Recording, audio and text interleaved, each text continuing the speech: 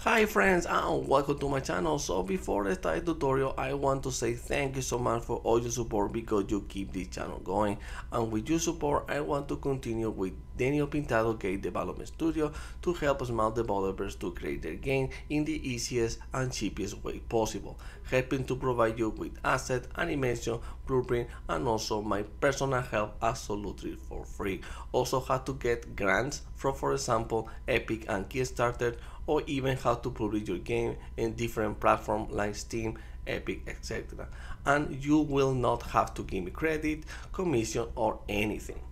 So there will be some guidelines to follow for the order or the project to help. You only have to enter to my YouTube channel, subscribe to my channel and in the upper right corner and click in the link or in the description of this video you will have the link. At the end of this page you will have question and answer already answered by me about the YouTube channel and the project and I will be updating this page with new and content so stay tuned. So if you want to help me with this project, you only have to enter in my Ko-fi page and donate the amount you want, or you can be a member for exclusive content and support. You can also hire me as a freelancer to advance more faster, or if you want, I can create a complete game for you. I will be updating this membership with new exclusive content and more stuff. And if you want to talk with me directly, you can go to my Discord channel. So if you need help in your project, or maybe you need help in the tutorial, or the tutorial is not working for you, or you have a request video or something, you can talk with me in the Discord. So thank you for watching, and let's start the tutorial. So today I'm here with another uh, request tutorial.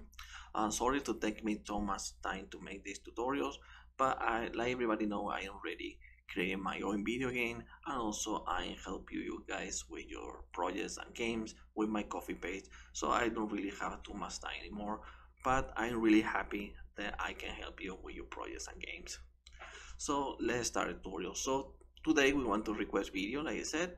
So they want to be the how to use a widget with the gamepad and also with the uh, keyboard. And depends on what you're using they want to show you um, only the gamepad or only the, the mouse if you're using the keyboard. Because if you're using the gamepad you don't want to see the mouse cursor in your widget. So let's start that one.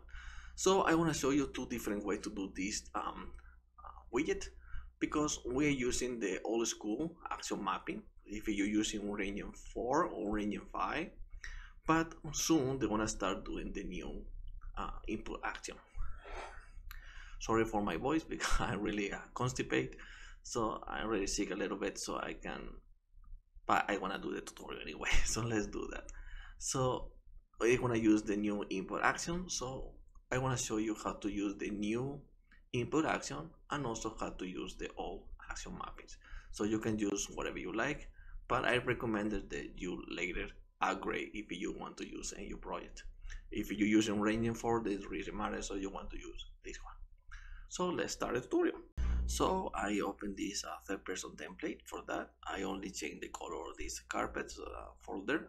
So for me, it's more easy to go to blueprint and also I change the third person name for my own name, DP character blueprint. So that's more easy for me to remember. You can put the name you want or you can use your main uh, blueprint from your character.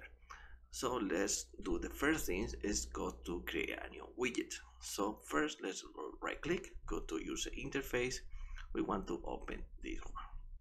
They're gonna be user widget and we can call it, I don't know, I'm gonna call it menu widget. For whatever you can use whatever you like, but for me gonna be uh, menu menu widget. So let's open this.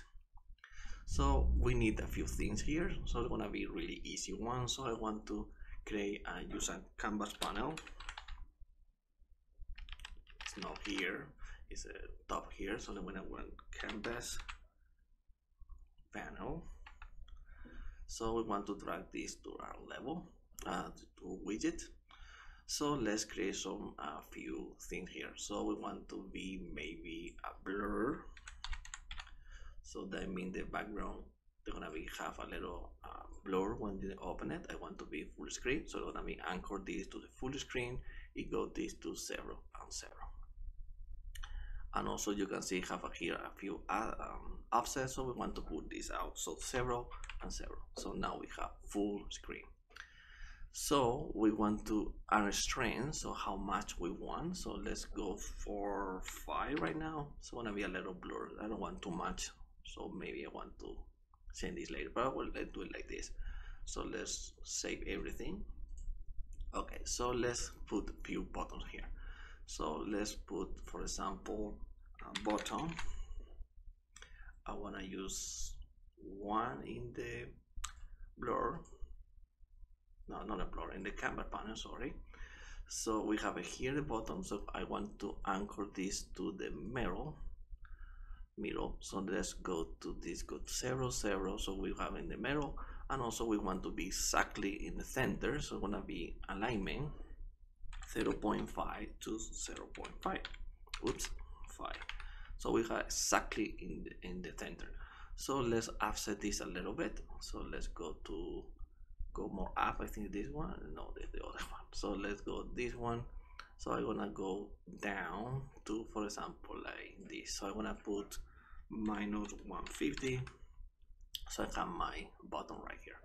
So let's do this button a little more big. So let's go like I don't know 500 and maybe the size like I don't know 7, 75 so it's a little big to see right away what button it is so I want to put the Z order to 1 so that means this is in top of this blur because I don't want to be clicking uh, in the same position. So it's better to have something outside to your um, background.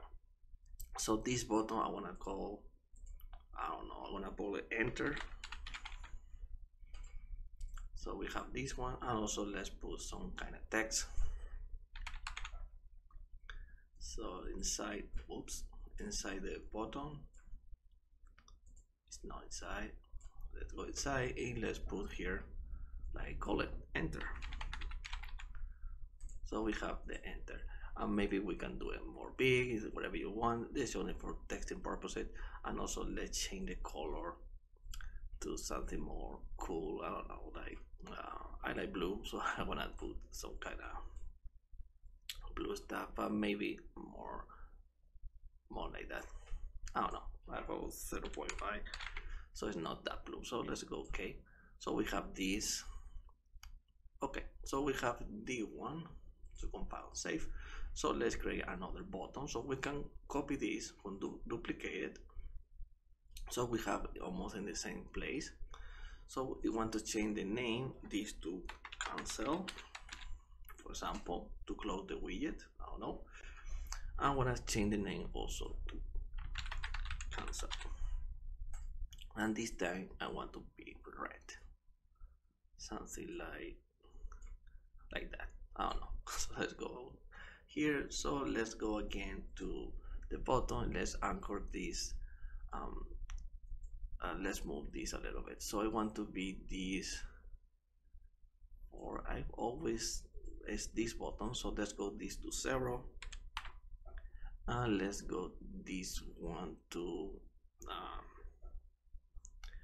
I don't know what position we're going to so let's go to plus. So let's go 150 so we have it like that. Okay so let's compile and save. So we have this widget. That's really easy widget. So let's close this. Let's compile everything save so let's close well, let's leave the widget so let's go to the third person character. A blueprint let's go to blueprint third person character. And here in the begin play we want to add this widget. So from here I want to drag this. I want to say create a widget. I want to leave it like that. And the name of the widget is my um, the menu. Oops, menu widget and also let's promote this to a variable and this name I want to call it um, I want to call it menu uh, widget. So we have this also. And let's connect this to here. And to look look, uh, look better so let's collapse this call this widget uh, I'm gonna call it menu. So I know what it is. Because we can be a lot of widgets. So let's go to menu here. So let's compile and save. Okay. So I forgot to go to menu widget. I want to be in the uh, designer in the canvas panel. I want to be all this stuff to be visible I want to be collapsed so I can see it. So we can change whatever we want so and also let's go to the big character I forgot to add here the add to viewport. So from here add to viewport. But like it's invisible or collapse you can see it. So let's go bound save let's go play and now you can see we don't have that widget it's right there but it's collapsed so they don't take space in the in the, in the screen so that's really cool so let's do how to open and close using the, the pen or the keyboard or using the gamepad. So let's do the first uh, way to do this. So let's go to input. So let's go to edit, go to project settings, go to input and here let's create a new action mapping. So here let's open this and let's call this open menu. I don't know. You, you can call it like you like it and we want to use uh, you can put it here one or you can press here instead for example M for the keyboard and we are here let's do the gamepad also want to use the gamepad special right so that means it's the start button in the uh, Xbox okay so let's close this. We don't need any more for now. And let's go to the event graph and let's create that input here. Right click go to open menu. And from here let's do a variable. So let's create a new variable and call this open menu. So let's go here. Let's go get. Let's do a branch and let's connect this to here. So we want to set this in the opposite. So let's copy and paste. So if it's true I want to be false. If it's false I want to be true. Why I'm doing this? Because a lot of people asking why to use a flip-flop? So they're gonna be one over the other one. But sometimes for whatever reason you want to the widget open in different place. For example let's interact to uh, interact with some character if they open the menu for whatever reason. So we don't want to go if we press it go to the a first because maybe they want to open it. If it's already open you have to click twice to close it. So there's no professional. So that's why it's better to use this way to boolean. So always check if it's open first. So that means you avoid that issue with double clicking to close something there's a lot of the game. They have that um, um, rookie mistake. So it's better to avoid that with uh, a boolean or another way if you want but this the more easiest to understand. So that's why I use this one. Okay so let's separate this a little bit. And from here we want to go to get menu. I want to go set visibility. So we want to if it's open we want to go to visible. And if it's closed we want to collapse again. Okay so let's compile save. Let's go play and let's test it. It's not working.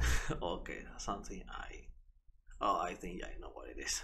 So let's go to menu widget and I think I press canvas panel yes so that's the problem. The visibility let's go back where it was because it's not the canvas panel we want to check. We want to go to menu widget. So in here go to visibility. Where it is. All oh, right here visibility. So behavior and let's change this to collapse. My bad. So compound save.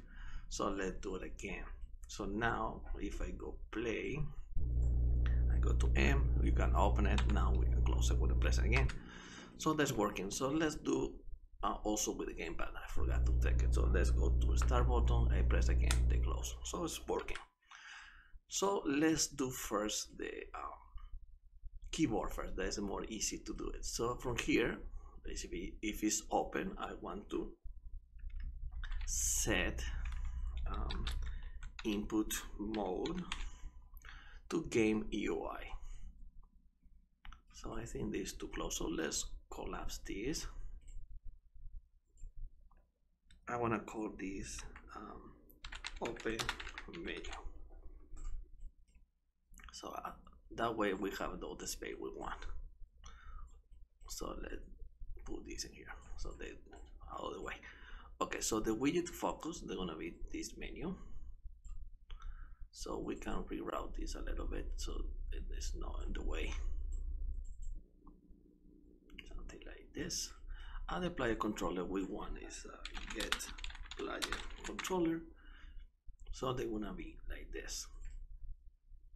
And also we want to show the mouse. So from here, show mouse cursor. So we want to set it so let's do a reroute here you want to set this to true. And also we want to set this to false if we go the opposite. So we want to to false. And also we want to get the game also uh, set input uh, mode to game only because I don't want to use the UI like that okay so let's and save. And they look good. And also when we go inside the menu we want to do something this button so let's go uh, this uh, graph. Let's delete this stuff. We don't need it for now. So in enter we want to go on click. So I want to say something. So let's print string. So whoop not print text. So print string I want to set hello that's really cool. So let's change the color for see it better. So let's go to red. Red. Okay so that's gonna be enter. So if you want to go clan cell, no don't, don't drag it. So let's go to click. And cancel we want to do different stuff so we can do this really easy. So go to dp character blueprint and we want to do this stuff. So let's go all this stuff include this. Okay control because we want to go to the game mode. So let's copy and go to um, here. So here let's paste it here so we want to change this. So the open menu is not working because it's not uh, selected. So we want to create it if we want or we can use the reference from the character. So the best way to do it is uh, casting here. So let's go to or better still. So don't use casting. So let's let's avoid doing casting. So let's go to variable and let's create here variable equals say player and let's go to dp uh, character blueprint. So let's go all your reference. So now we have this one. So for this reference if we, we drag it we can go to set open menu and we can say this one. So that's working the same way. But we have a here issue. So this one they need to call from somewhere. So we don't want to cast it so the best way is go to instance. Editable say yes spawn to spawn, say yes. Whoops no private so let's compile save. So now go to the picture of the blueprint and let's go to the event graph go to the gameplay in here if we uh, refresh this we have a new input. So this one they're asking for a player we are the player so we want to say self so that is a way to pass blueprint to another blueprint and stuff. So that's really easy. You avoid casting a lot. So that's good. So now we have this. Okay so if we close we're doing this. Okay okay let's test it out. Let's go play. Let's press M. I go enter. You can see hello. If I go close cancel I can close it. So that's perfectly fine. So let's close this so now let's do the more difficult part a lot of people get confused how to use the gamepad. So let's do that. So for doing the um, gamepad we need to know what key we're pressing so we need to go to again go to um, here the open menu and we need to check what key it is. So let's put this in here so now let's open it and we have this key so if this one we want to check if it's equal so some value we want so the value i'm looking for is the space for example so if i press spacebar that means i'm using the keyboard if I don't use the space bars, that means I'm using another button for the gamepad. So for that, let's do a branch. So this one, let's drag this just after the uh, input mode. So let's go here. So now, let's reroute this.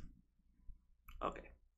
So now if it is true, I'm using the space button, space bar, I want to go to set the mouse cursor. If it not, I don't want to set it because we're using the gamepad. So for the gamepad, they need to know what button they need to be focused.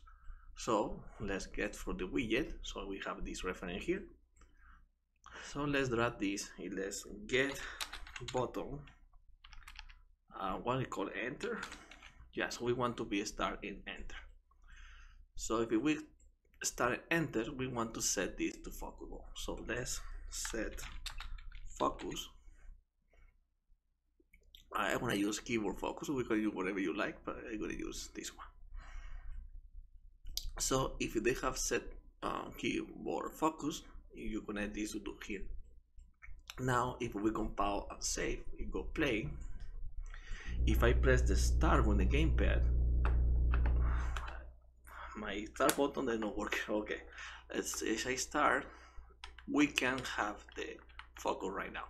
Why is it's not? Because D is too fast for the view visibility. So you need to have a little delay here to know they can be focused so to do that I want to go to false go to delay. Wow delay. So you don't need to more than 0.1 so i'm gonna 0.1 so let's connect it with this one this one let's go let's something like that we can reroute this if we want to look more professional. Okay. So we have a set focus uh, set keyboard focus so let's compound save. So now if we could go play I press the start button. If I move it you can see I don't know if you can notice the blue lines in the buttons but if you want to do this better because they don't really uh, see it too much we can do it uh, in the widget. So in the widget we can go to menu widget go to event graph um, in the gameplay they're gonna be gameplay. They call it event control by the same. So with this is control we want to know what they have focus or not. You can do this in the tick node, but I recommend that no use tick nodes because um, they take a lot of resources, so you don't need that fast. So for here, they're gonna be set timer by event, for example. And you want to be doing this fast, but not that fast. So I'm gonna say 0.1 is okay. And you need to be looping, so you want to be all the time doing tick, tick, tick, tick, tick. It's like a tick node, but more slower. So from here, let's custom event and let's call this uh, button focus I don't know you can call it you like it. So gonna be like that. So we need to do um, checking for all the button we want you have. So it's gonna be enter and also I want to the cancel. So let's make uh, array. So make array and you can connect another one. If you don't have it go to add pins and you can put whatever pin you want so now we want to check all this array. So they're gonna be for each loop. So we want to connect this to here.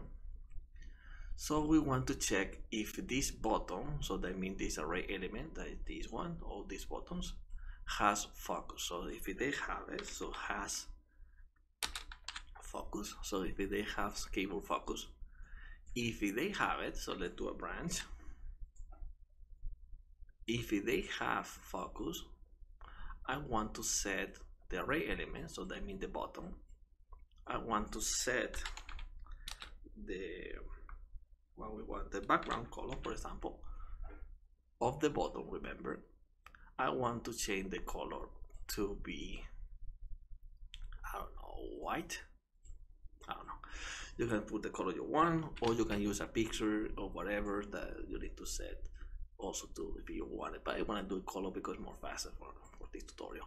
And also I want to do this again but this time if it's false I want to be this black. I don't know. Something like that. So let's compile save.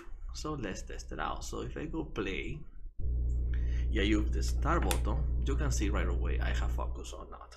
So if I change it to enter I have focus. If I go to cancel I have focus. So they, they change whatever you want so if I go enter I do the opposite so let's go start. So I have enter right now. So I go back I have cancel I will go up and say press enter when the A button for example I can say hello. If I go back I have cancel. So if I press it it will close. It if I use the M for the keyboard I still have my how my uh, mouse. So I can go mouse uh, am to enter the menu so I have enter I have cancel. So that is the way this working. So that's working perfectly fine with this old uh, system with the uh, open menu. So now when the input action sorry. So now let's teach you the same thing we have already created to using uh, not using input actions we want to use the, input log applied to shifter so they're gonna be this mapping context so let's do that one now so if you're using Unreal Engine 4 or you're still using input action, you're already done. So you don't know, you know already how to do this open and close, use the menu you want. So let's do now the new mapping system. Okay, so for the more advanced, so we need to go to the third person map. So first you need to be create this uh, default and also this input. So if you have the example using the uh, gameplay, so you need to cast to the controller. You have to do this. Also, go is valid. If it's valid, you want to be add content. So if you have already this one, so now we need to create a new input. So let's create a new input. So we can go to here action. So we want to use uh, like jumping because jumping have the same uh, input. They're gonna be digitable because you don't want to be a float you don't want to be a vector nothing like that. On a bool so the easiest way just duplicate this. And we want to call it for example open menu. That's really easy. So let's save it so now we need to go back to the IMC default. We have default as they say so let's add new one. So we want to looking for the new open menu. So we have the open menu and we want to do a key. So let's press here. That's gonna be the uh, what, do we want? We want to be uh, M so it's gonna be M for the keyboard.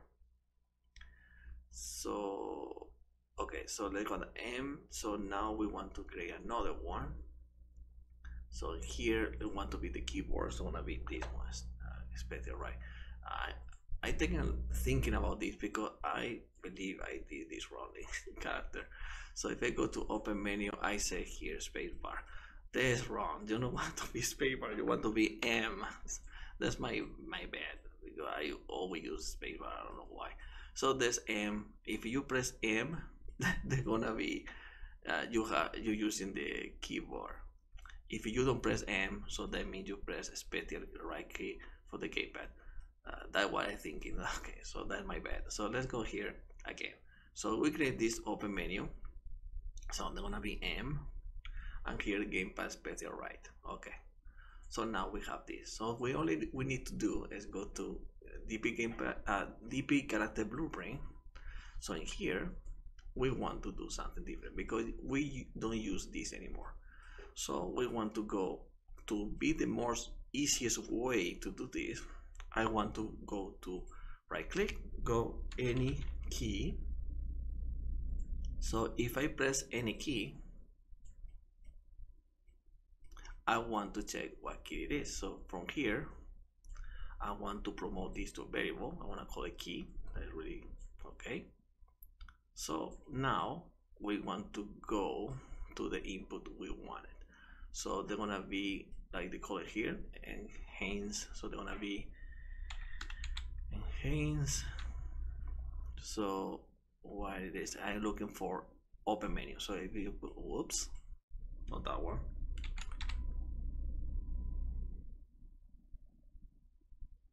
Not this one. Yeah, oops my, my bad. So you have this one. So we want to, if they start or trigger, that I mean you press it, it's gonna be started. So if you press it, we want to go like this. So now we need to know the key. So we can delete this. We don't need anymore. So we want to know this key. So for this key, you wanna go like this and connect this to this one. So now we have the key we want to press. That's really easy. So now, if it's M, they're gonna be show the mouse cursor. If it's not, they're gonna be there's the gamepad. So let's check. So let's go play. If I press M, we have this hello and cancel. If I press the start button, I have my this one already working. So it's the same thing, but they're working better with the this enhance uh, I don't know what we say uh, in production open menu. So that's the way you want to do uh, later for Unreal Engine 5.2 thing like that. Because maybe one day they wanna uh, delete the other system. So you only need to be uh, have a reference what key you're pressing. If you know what key you're pressing, you want to know what it is. That really does it. So that's gonna be it for this tutorial. So thank you for watching. Uh, if you want to support me, you can go to my Ko-fi page or you can talk with me if you want in my Discord page. So thank you for watching. I'll see you in the next tutorial. So bye bye.